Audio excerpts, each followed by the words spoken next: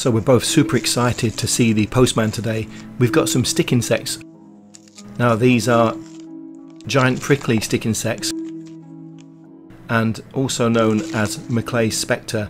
These are nice little pets and very friendly, completely harmless to humans.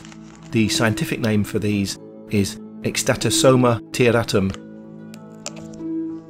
Stickles! Shh.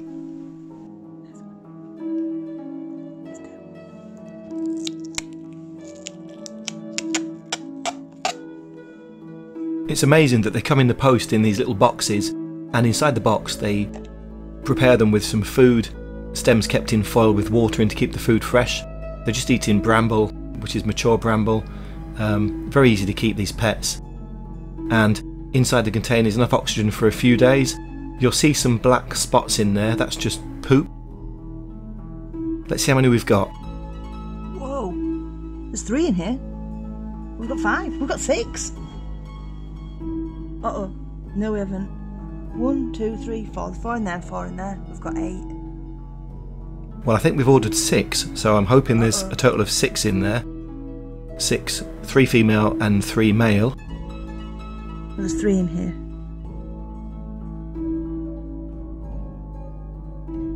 There's three in here.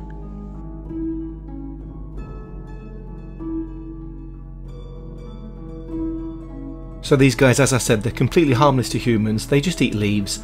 You know, very easy to keep. They eat blackberry, raspberry, oak, rose, hazel, and eucalyptus. Um, in the winter, you can still find blackberry leaves outside. Just be careful if you're getting leaves from a store. Make sure they've not got any insecticide on. Insecticide really will kill these guys off.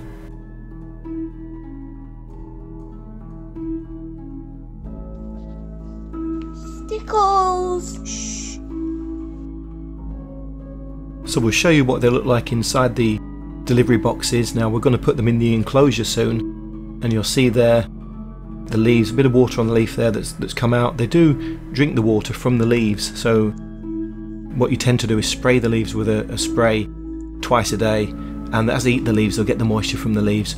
They'll even suck the water from the leaves.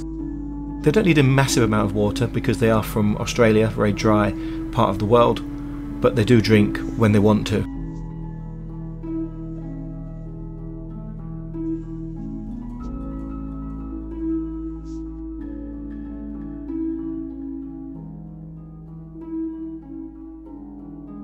You can see this one here moving around and shaking.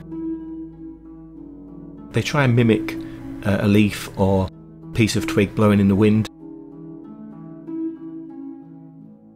But on the whole, very peaceful, uh, very relaxed creatures.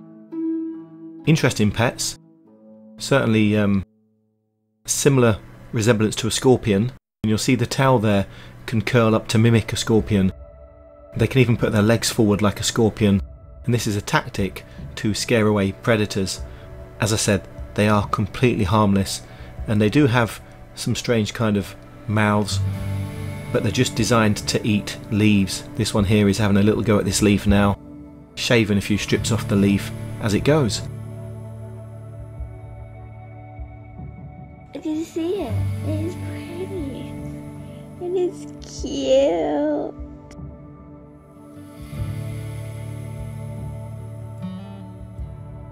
So we've ordered another six here today.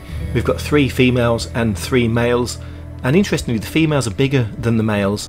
They become quite bulky. They grow up to about 15 centimeters long, so they do get quite big. You need a good size enclosure for them. And the males are about 12 to 13 centimeters long, so they're still a good size, but not as big as the females. Now, the females do have very small wings, but they're not able to fly because of their bulk, and they're a bit more spiny. They have more prickles on. Um, whereas the males are a bit more slender. We'll look at the males in a moment. I do think, looking at these creatures, I'm fascinated by them, but I do think that it reminds me of the alien from H.R. Giger. I wonder if he was inspired by these wonderful creatures. The tail of these, at the very tip of the tail, the eggs pop out, much like the film Aliens. So interesting that um, the artwork and the, the design of the motion picture could well have been inspired by these giant prickly stick insects.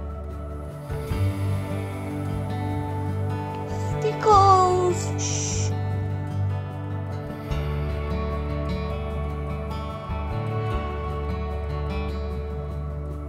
So as I say, the males do have wings. Um, as they get older, they form quite long, slender wings, and they have a slender body.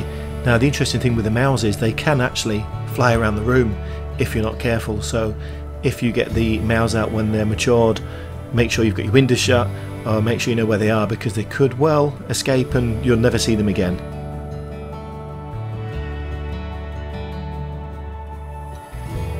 And speaking of the enclosure, one of the most common causes of death of these pets is too much humidity. They do require a very ventilated, open, I'm going to say enclosure because you can't keep them in a tank. You need a mesh walled vivarium or, or equivalent type of enclosure for them so they can get plenty of fresh breeze, plenty of oxygen.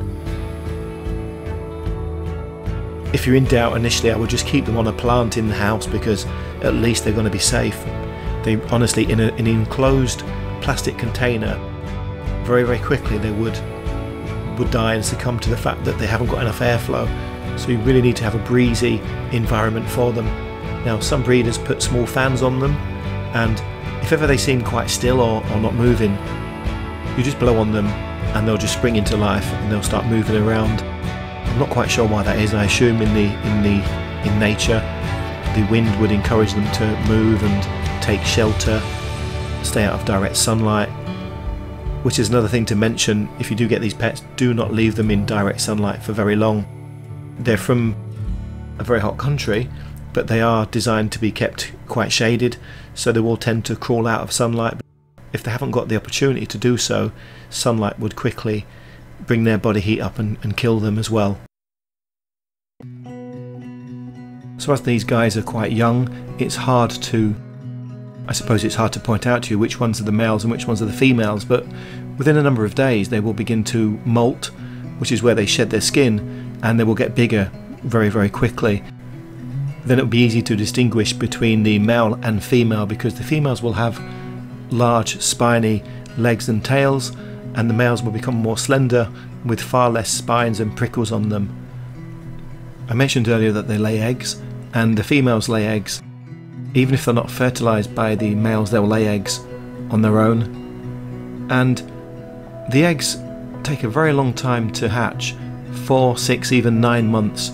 The longer ones, because they haven't been fertilized, and they're clone eggs of the female, but the six months ones will have been fertilized. And you can actually hatch the eggs yourself.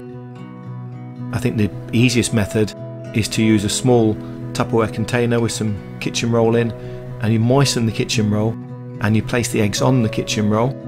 And as soon as the eggs dry out you moisten them again. Checking for mould if mould forms on the eggs you wipe it off and you just keep rinse and repeat. And over time eventually you'll have these little baby ant type nymphs that will be crawling around in the container.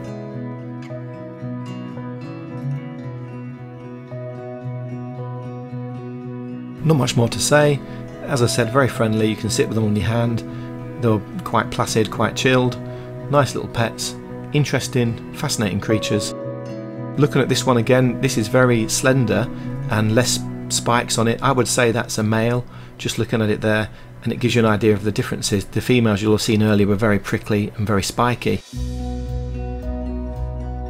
I hope you've enjoyed this and I hope it's been interesting. I'll see how this is received. I mean, I, I'm quite passionate about these small creatures. If you guys want more videos of these, I've got some habitats to show you, some different um, types of stick insects, a fully grown one. If I get some likes, some subs and lots of views, I'll certainly do more videos for you and I'll share as much knowledge as I can with you as we go. Thanks for watching. Please, please subscribe if you can, it really helps us out. Um, the more subscribers we get, the more prominent we get on YouTube and the more our videos get shared around. And thank you very much for spending the time to watch this. Perhaps you'll leave a comment for me.